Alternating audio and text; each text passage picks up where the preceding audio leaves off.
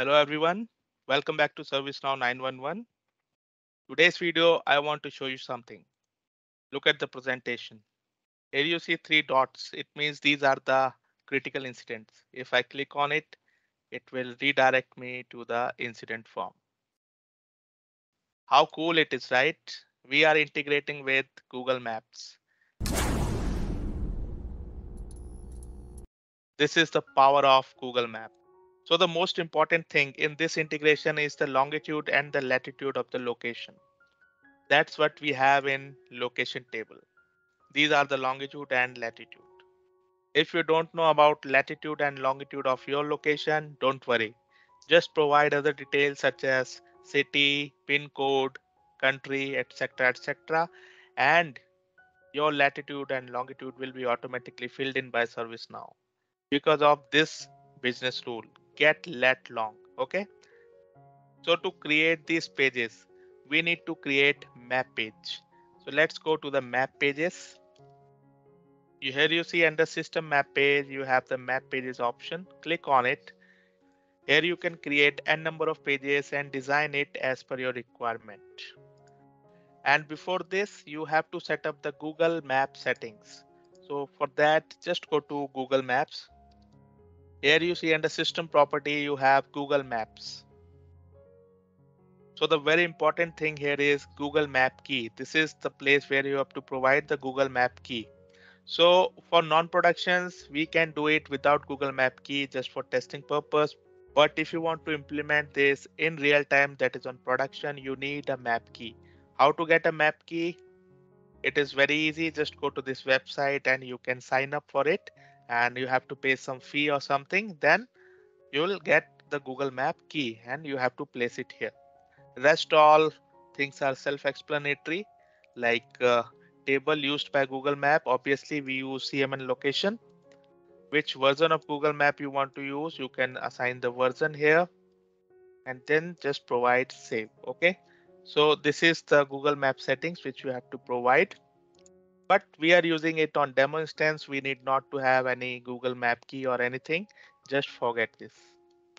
So let me show you the very first one which we have designed that is the critical incident map. So here, OK, this is the critical incident one. Click on it. OK, so now you have to provide the name. Then we have center map on.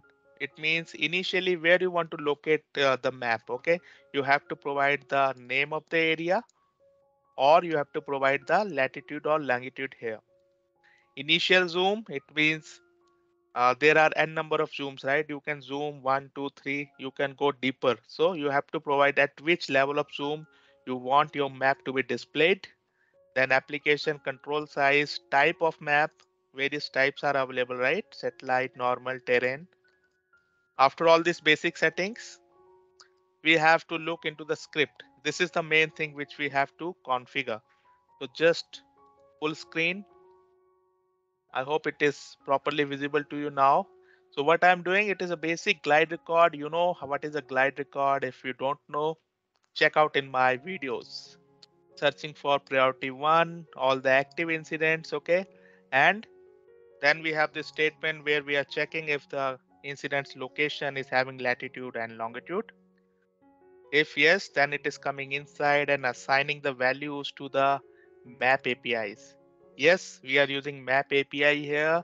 And in that map API, we have a function called add item where we are passing the current incident. OK, the object of current incident and just placing all the necessary values here. First one is item.latitude. So where we are giving the GR's latitude, that is incident latitude. Then we have item dot longitude in the same way the icon, the icon which we want to see on the form. Then we have the width and height of the icon. So this is it. The query is not that much hard. We just need to use that. We have to use this map API and this add item function.